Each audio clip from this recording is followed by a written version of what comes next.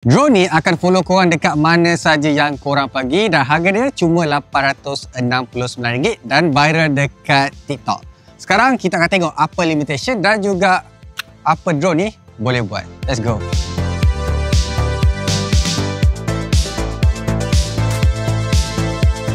Drone ni memang compact, size dia pun besar tapak tangan saja tau. Korang boleh dapat kamera dekat depan ni. Uh, ini adalah 4K sensor dengan kebolehan rakam 30 fps.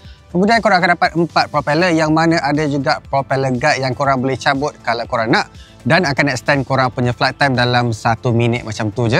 Uh, tak ada apa-apa yang korang boleh nampak dekat sini kecuali arrow dekat sini. Uh, yang ni adalah dia punya quick shot. Lepas tu korang akan dapat indicator untuk bateri and then dekat sini akan ada dua butang untuk aktifkan satu untuk hidupkan dan yang kedua adalah untuk aktifkan mode-mode macam tu.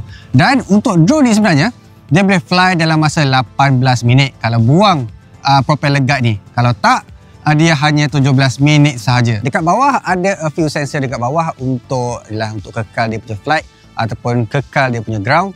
Ini adalah bateri yang korang boleh cabut dan charge kalau korang nak.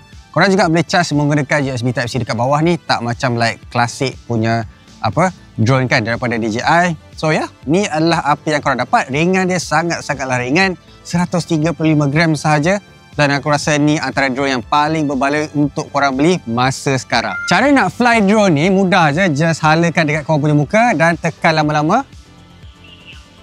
Dia akan fly sini sebab dia akan detect muka korang. Ha, ini tanpa pakai app tau kalau korang nak tahu. So dekat sini dia akan start follow apa yang dia nampak based on apa yang korang dah select. So bila aku pusing, dia akan ikut aku. Nampak tak? So sekarang aku akan berjalan macam ni. So dia akan follow secara automatik.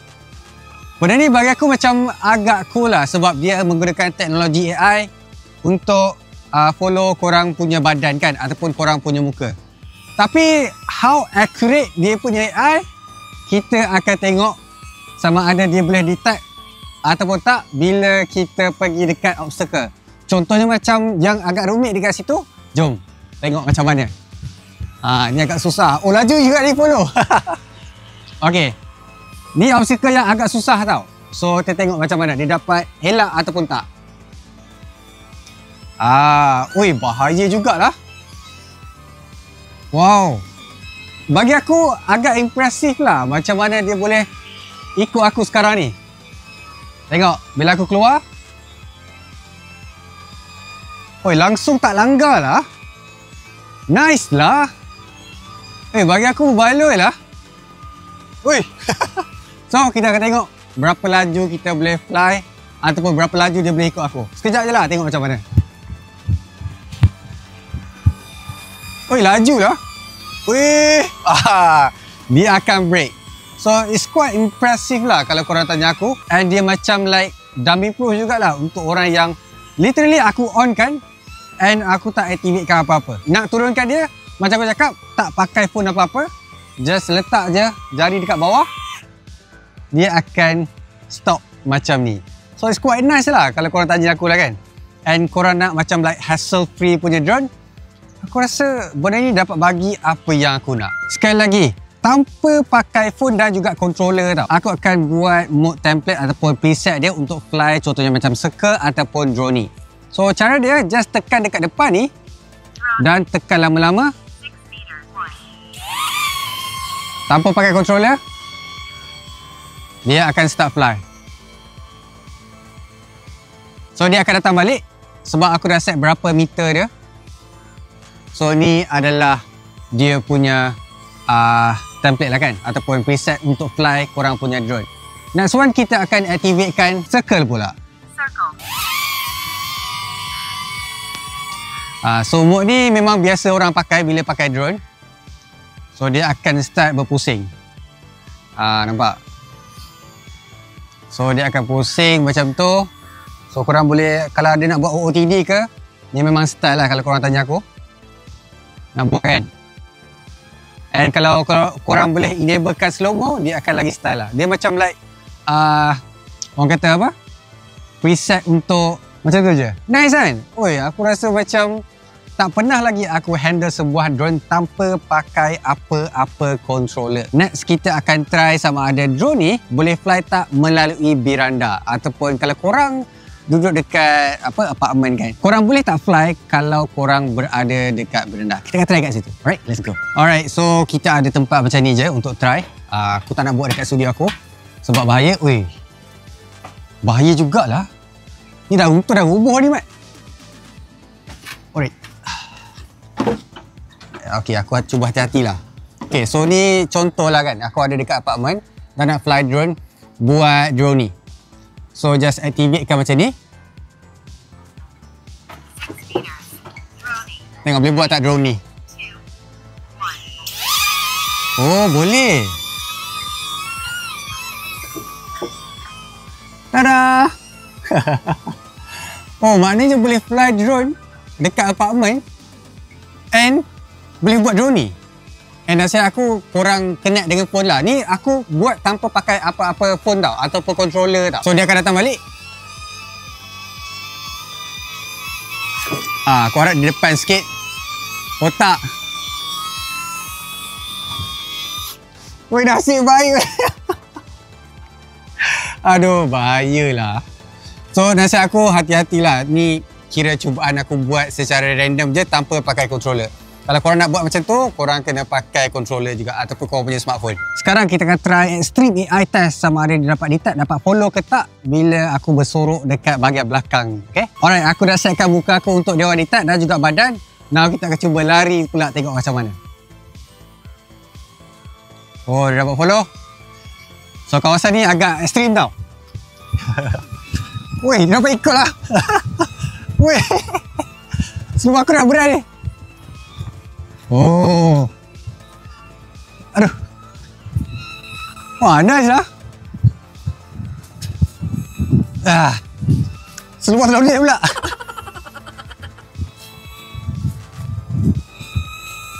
oh, dapat follow tak?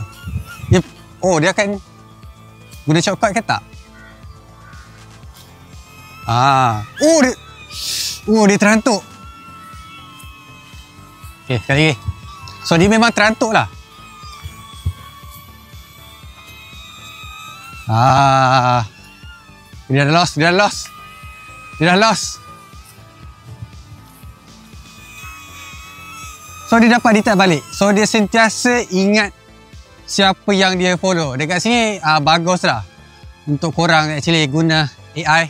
Which is good sebab dia actually memang dapat detect subjek ataupun objek yang dia dah detect tu which is muka dan juga badan. Alright? Oh, penat. Sekarang kita akan test tengok sama ada drone ni dapat handle sebarang orang kata pelanggaran lah. Uh, so kalau korang terlanggar tiang ke apa ke orang datang pegang ke apa kan. Tengok macam dia dapat tahan ke tak. So aku akan fly kat sini. So aku akan fly macam tu. Ah, uh, kita nak tengok kalau kita ketuk apa jadi. Ah. Uh. Weh. Korang nampak? Dia so far tak ada masalah lah. Korang boleh abuse je. Macam biasa. Uh, kalau tekan. Ah, so dia still dapat tahan tak? Kita kasar sikit lah. Memang betul-betul kasar ni. So dia still dapat track aku punya uh, muka. So kita akan buat kasar sikit. Ah, dia still lagi follow. So ya, yeah, quite impressive lah untuk dia punya ketahanan dan juga cara dia handle once dia langgar sesuatu tu.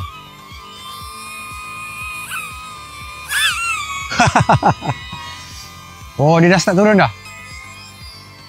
Weh, dia dah merajuk lah weh. Dia dah merajuk. Alah. Kita ketuk dia, dia merajuk pula. Aduh, mak. Fly lah weh. Jangan macam ni. Ah, dia dah tak merajuk dah. Dia dah tak merajuk dah guys. Korang tahu tak benda yang best aku tahu pasal DJI Neo ni? Korang actually boleh guna mic dekat korang punya smartphone tau. So bila korang fly, korang boleh bercakap tanpa ada bunyi macam dia punya propeller kan. Kalau ada letak mic dekat sini pun tak ada guna juga sebab dia pick up bunyi daripada kipas. So bila korang guna mic dekat smartphone, dia akan lagi clear dan tak ada interference ataupun tak ada uh, isu macam masalah bunyi yang ada dekat drone tu. So sekarang aku akan fly dan juga guna mic dekat smartphone. Just activate kan je. Sekarang aku dah enablekan direction track dan aku akan gunakan mic dekat dalam smartphone ni untuk bercakap. So kalau korang buat jogging ke apa ke, boleh juga buat mode macam ni dan bercakap dekat mic macam ni. Ha, so dia akan like ikut korang, dia akan undur ke belakang kalau korang berjalan dan dia akan ikutlah.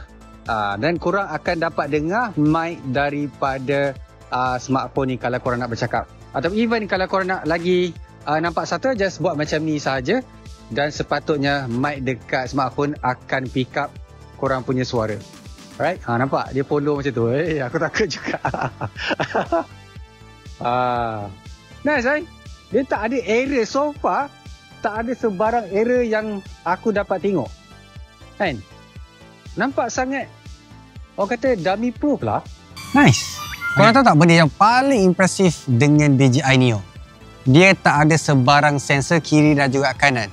So apa yang korang nampak tadi tu based on AI sahaja. Bawah ni just untuk determine korang punya tangan waktu korang nak uh, fly dan juga korang nak landing. Kemudian untuk dia stay dekat dekat satu lokasi tu sahaja. So in terms of dia punya obstacle detection tu semua based on AI kamera kecil yang korang nampak dekat depan. So dekat situlah korang nak tahu uh, impresifnya AI yang ada dekat DJI Neo. Alright, aku dah puas main DJI Neo so far dengan RM800 tu. Boleh kata drone ni dapat handle segala benda lah. Tak ada sebarang pelanggaran dan juga error yang aku counter dengan drone ni. Uh, ada a few negative point yang aku boleh bagi tahu since dah pakai drone DJI Neo. Dia punya negative point cumalah dia tak boleh record ataupun tak boleh aktifkan waktu malam. Dia akan like hilang kawalan. So jangan aktifkan kalau tak ada cahaya langsung ataupun pada waktu malam.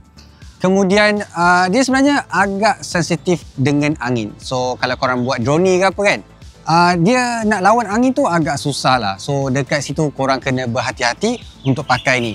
In terms of dia punya bateri pula 17 minit macam tu, uh, bagi aku dia bukan satu a big deal sangat sebab uh, korang tak adalah nak fly lama sangat kan untuk sebuah drone yang kecil 17 minit tu kira macam okay-ish untuk korang pakai. In terms of dia punya quality video pula, korang sendiri bolehlah nilai. Dia tak adalah pecah sangat. Dia tak adalah nampak macam upscaling kepada 4K. And disebabkan dia tak ada kipas dekat dalam ni, tu mungkin advantage untuk sebuah drone yang kecil macam ni. However, dia sebenarnya ada lubang angin dekat belakang ni tau. Yang mana korang boleh nampak, mungkin dia take advantage bila fly drone ni, so kipas tu ataupun angin tu masuk ke dalam dia orang punya uh, propeller lah kan ataupun dia orang punya drone. So DJI aku rasa ni salah satu drone yang terbaik yang korang pernah buat in terms of pricing dan juga in terms of apa yang dia dapat tawarkan dengan harga macam tu.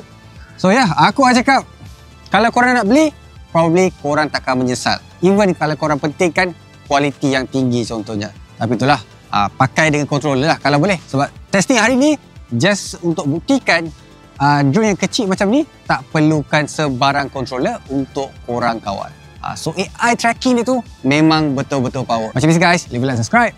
So, kids smiling. I'll see you guys on my next video. Bye!